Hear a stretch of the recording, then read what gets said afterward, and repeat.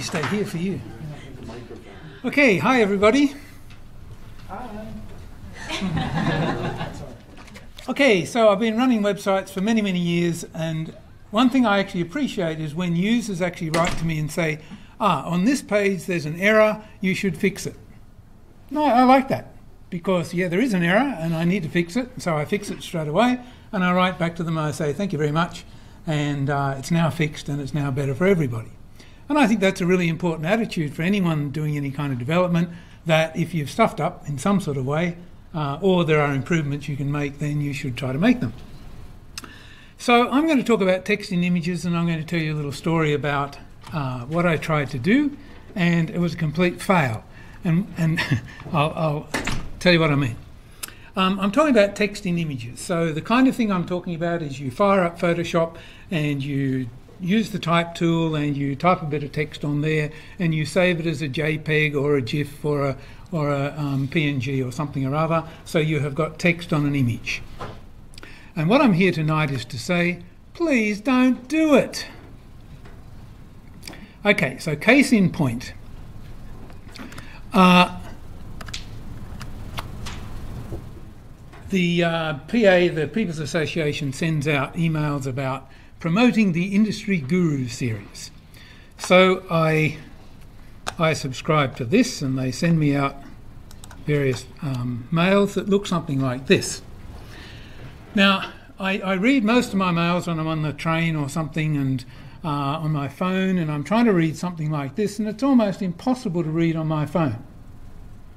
And there's too many things I leave, I have to leave until I get home to read because it's just impossible to read on the train.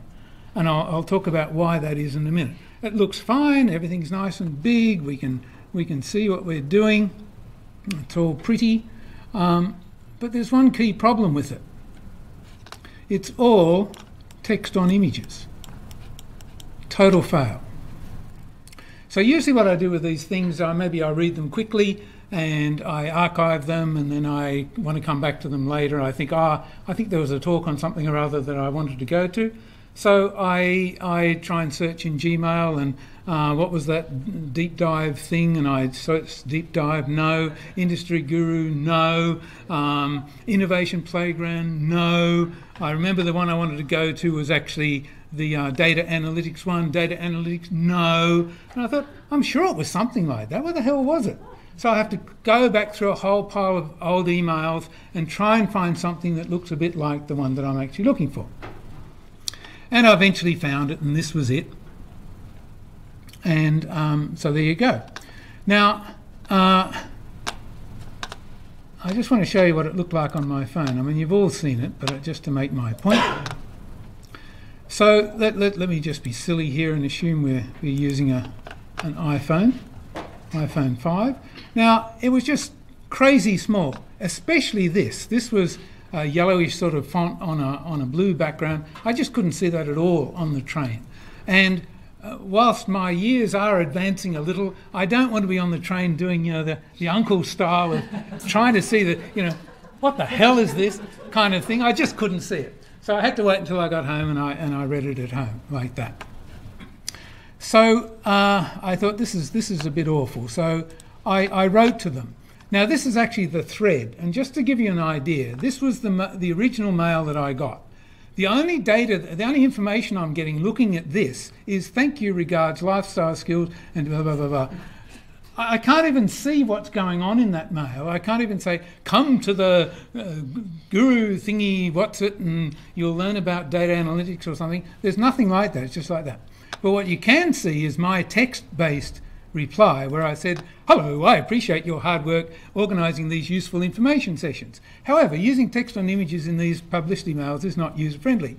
On a mobile phone, you have to scroll right and left to see the text, and many people have images turned off by default, so your mail will just contain empty frames with a grey border as per the screenshot. Now, what I was talking about there was, um, of course, some browsers and some apps and some combinations of the two will actually either do what you can see there, which is this kind of thing. This is Hui Jing's favourite activity here. Have you ever seen her do a talk? She does this about 18 times for every image. So I'm going to do this just to. Anyway, so it just gets ridiculously small. The other thing is um, the call to action is one of the most important things you can ever send out in an email. The call to action is click here to subscribe or click here to sign up or whatever. And when I was reading this on the train, which actually looked like this for me, I thought, well, when is it and where do I sign up? What the hell's going on? And of course, it, it was because it was just hitting right there and I didn't even realise there was anything on the right hand side. Of course, if I'd scrolled across, oh, here's the, the sign up button right here. So if you're doing marketing, it's a total fail, isn't it? If half the people can't see it, and another half of the people can't find it, and another half of the people can't find the button, that's one and a half of the people already. Hey, mathematics. I told you I'd sneak some mathematics in just to keep her happy. So there you go. So it was all silly. So um, my other my other ones. Oh, okay. So of course, in some in some browser and app and whatever combinations, you get this kind of nonsense happening where nothing resizes, and as I said, you have to scroll left and right like that. So total fail. So um, that's what I wrote. So she, oh, okay, and I kept complaining. Also, with no text in the mail, not even any alt text, it is impossible to search for the desired workshop later. Search engines generally cannot find text on an image. Well, Google can, but that's in their main web index, not in, in Gmail, so it doesn't work.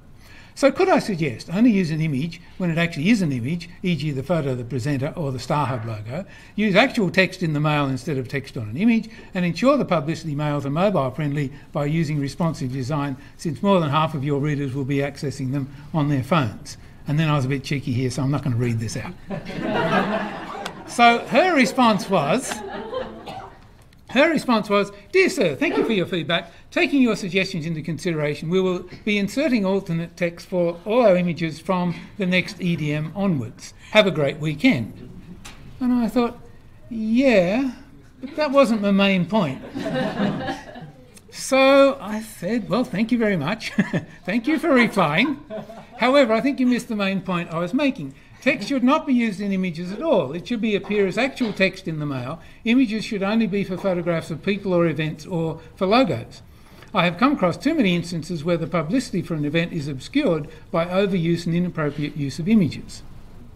So she replied, Dear Sir, thank you for your valuable feedback relating to your user experience. Your helpful comments are much appreciated. We will continue to improve for future EDMs. Well, I don't know what the hell an EDM is, but that's okay. This is Singapore, the acronym capital of the universe. While we are working on the enhancements, do let us know if you wish to be removed from the mailing list, as we do not wish to send you emails with empty grey border frames. Wow. My mail said, if you have got images turned off, then you're not going to see the images. You're not going to see anything.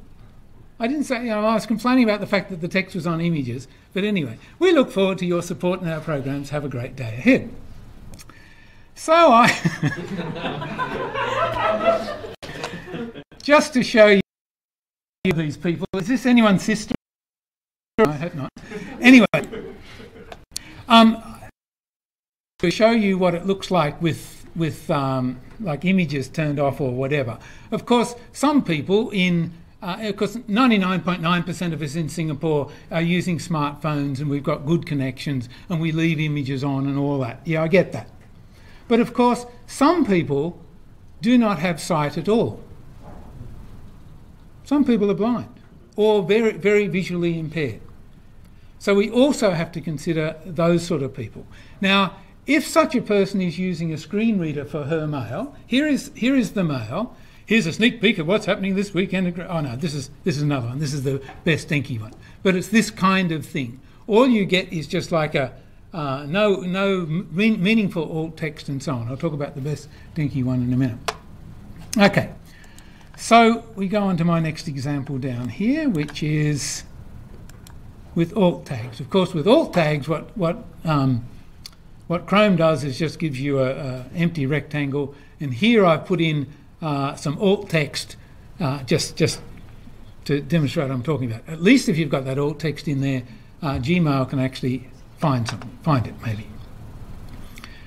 Okay, so what I did was I said, let, let me be kind and let me actually produce a page which is mobile friendly and can be watched, can be viewed just nicely on a phone and can be viewed on a desktop and so on. And here it is.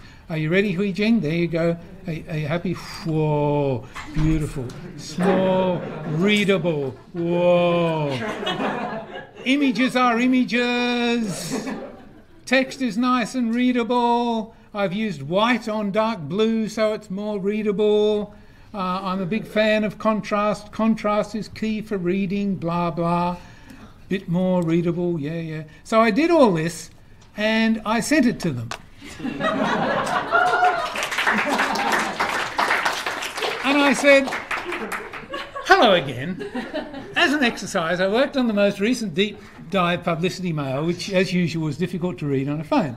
Please try to read the original, which was like this, using your phone. So these are just the things I've just shown you. Now compare that to the following version, which uses text where it should be text and where it is friendly on any device, phone, tablet, or desktop, the one I just showed you. I haven't reproduced the whole thing completely, but I did 90% of it and I thought that was enough. The text is now searchable and readable. I hope you find it useful. And her reply was? Nothing. No reply.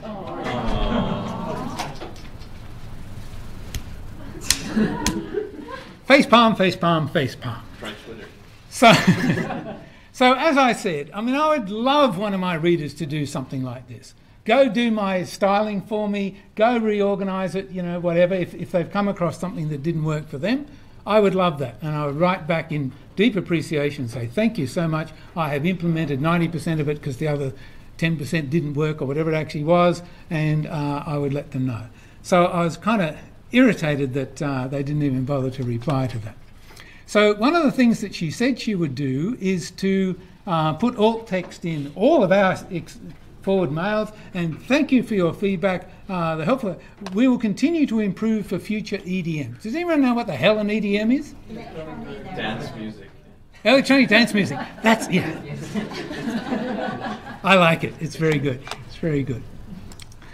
Okay, so um, just wanted to. Oh, I knew I raised it. Yeah, sorry. So just this week, guess what we got? We got a. Where is it? Uh, in here somewhere. Try search. There we go. SingHealth. No. Oh no, I'm not going to try search. That's not what I'm going to try. Oh dear, God, it's here somewhere. Anyway, lost it now. But anyway, one of their mails came in today, and guess what? No alt text, all images. And you might have noticed this thread that I was showing you before was 16th May 2018. So it's almost two years, and as soon as I went away and stopped annoying them, they didn't even bother putting uh, alt text in. So I, yeah, I think there's a problem. There is a problem. So um, what else do I want to say here? Let's just in through all this. We've done all that. Blah blah blah blah blah. Okay. So here's my speech. Please think mobile first. All of us should be designing for a phone first, and then let it scale up to a to a full screen think user experience, and when a user does write, please actually take what they if they're bothered to write, it means they, they care about what you're doing and whatever. Um, so think about what they're doing. Uh, think poor or zero vision users. Uh, do you realise that Singapore is the myopia capital of the universe? myopia means short sighted. So anything that you produce in Singapore, you have got to do with big font, easily readable font, clear font, and uh, good contrast font. So don't be groovy, don't be arty, be readable is a key thing. Um, of course, if it's a logo, I mean Google or Microsoft or something or other, uh, of course you're going to be using text on a logo, no problem. Um, but even even then, it should have alt text, and all images should have alt text, so it can be search friendly. Um, now, I've, I've called these things poster style marketing. Back around 15 years ago, you produced a, a poster, right? And then you could you could multiple multiply use it. You could send it out in emails. You could stick it up on the wall, uh, you know, whatever. It made sense 15 years ago, maybe, maybe, but it doesn't make sense at all now. So what I'm what I wonder about is are bosses saying to their publicity people, "This is what I want it to look like." I don't know. So um, this was actually the title of my slide with a question mark, because I don't know the answer. How do we convince our bosses and the developers not to demand such things? Anyone got a story where you were successful in convincing somebody with this kind of thing? I think, like, frankly speaking, the PA example is a case where, like, an employee is skilled in Photoshop and they don't know coding, right? So I do understand their perspective as well, and they have no incentive to reply you actually. So for the first reply, it was a very, you know, politically correct reply. Standard, yes. Yeah. Please, so- please go away, man. Yes, I know. I've, I get plenty of them. Yeah, so I guess it boils down to the organizational structure. Yeah. M- my my it's true yeah i know i know i get that i mean she, he she was probably already employed as a as a visual artist Yeah. and they have to stick text here every now and then well how do i put it in nicely and whatever? Yeah i get that. Um, however as i said if people can't read it and if people refuse to read it the other thing uh, uh, neil J- uh, jacobson and uh, all these people one of the things they say is if things are hard to read people don't read it. And a lot of the time, people don't scroll left right, actually. We all like to think people are used to scrolling left right, but people very rarely scroll left right unless they absolutely have to and they're absolutely fascinated. If they're only moderately interested, they'll say, ah, forget it, it's too hard to read, move on, delete and move on to the next one. But just coming back to that, I still think it's easier if they just stick text in the web page right? It's much easier to stick web in the uh, text in the web page and put some images around it, actually, than it is. More of a vanity kind of thing because designers and marketers want certain kind of typography that is not available as a web font. So they simply just use a selected font or image and just send it out. Um, yes, that's why I put a, quite, a, quite a bit of effort into trying to match their font. All right, yeah, I'm, I'm just using standard fonts here. There's nothing special here. But yeah, I get that too. There might be an issue also that the response the responsiveness works here because it's a browser with all the modern features, but like email clients are well known to be like basically rubbish at this, right? So the problem might actually be a lot more complicated. Sorry, uh, wh- what's more rubbish? What? So, so, so Email? No, no, no. This, this. I mean, I've sent this to myself in email. It's it's Yeah, it's beautiful. but a lot of people are using a lot of different phones and browsers, and like the, the CSS engine in a browser in a in an email app is not the same as in a web browser. Correct. However, um, I have tested this in a bunch of, you know, a bunch of things on the phone, and, and it's fine. I mean, I agree. I agree. Um, the newsletter I send out, I, I have to use tables and all sorts of really ugly things to make that work. Yeah. But I deliberately wanted to do this without. I think I did use tables somewhere here, or A little bit. Maybe this was table. Sorry. No, I'm just saying. Maybe they didn't support the very, very old browser, Netscape. Was it just? I remember Netscape. But, but I think really the, the key, um, the only way to make them take action is really just shaming them on Twitter or social media, right? Because a voice from one user versus a voice from many users, it's a very different effect. Actually, I think 99% of people don't care, so they're not going to worry about doing that. However, I mean, I think I'm just bringing this up here because I hope at least people are a bit more conscious of this and hopefully in their own ha- design houses, if you've got people doing this sort of stuff, please uh, point out. What, what were you going to say? I was gonna say you're you're asking like how how you convince people to care about it. Uh, I think the way to do that is to get them to, to think that they were the ones who thought of it in the first place. That's what consultants say. Yeah, well, I am a consultant, so yeah. Good thinking, yes. Yeah. If, if they think it's their idea, they're more likely to do it. How can you give a script? What? How like how would you do it? Because like one What? example of how you would get people to think it's their idea. I mean, in Um, this context, I, I can't imagine a script. Well, in, in this in this context, it's it's a little more difficult, but like it's more if you can get them to go, oh, maybe like uh, we should do this. Like and they're they're the ones who who sort of come up with the idea and like do this, but they have to be the ones to say it.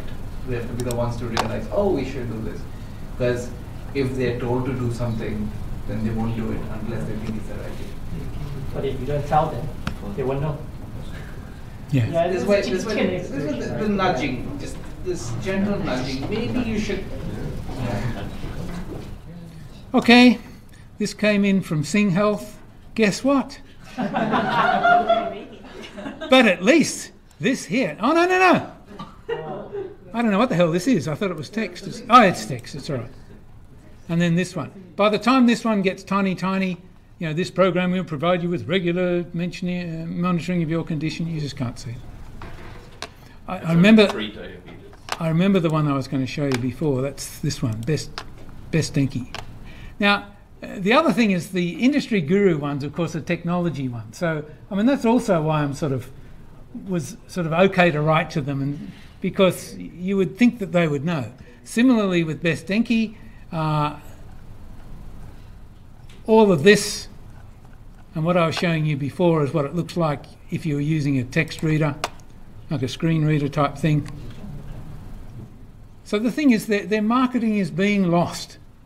I mean, one of the things I tried to do in my mails there was say, look, you're putting all this work into it, but if people can't read it, then your work is wasted, essentially.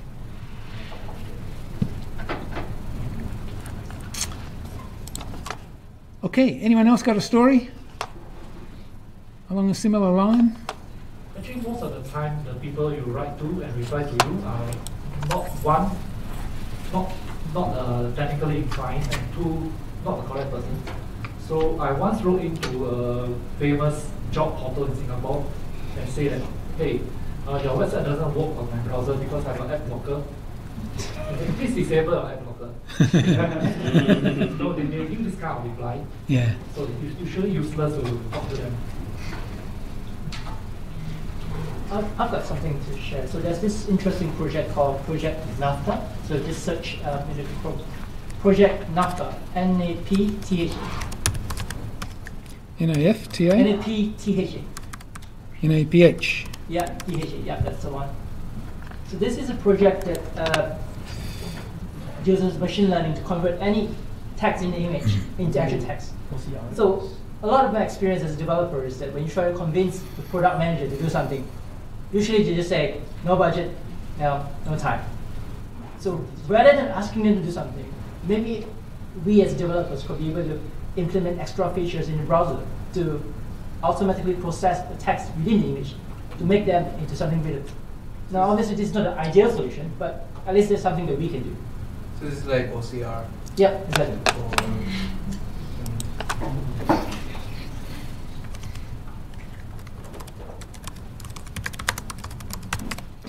One thing, uh, if you do this kind of thing, um, all of this is text on images. So what I searched for was inspirational quotes. So, so Google can read the text on there. It's using OCR, of course. As I said before, though, the search within Mail doesn't do that. And you know, maybe these people are assuming, well, because I can find this sort of thing, uh, people should be able to find it in Mail. I don't know. So are you going to write to Google next? next time. No, I'll write back to People's Association. Okay, I'm done. Thank you.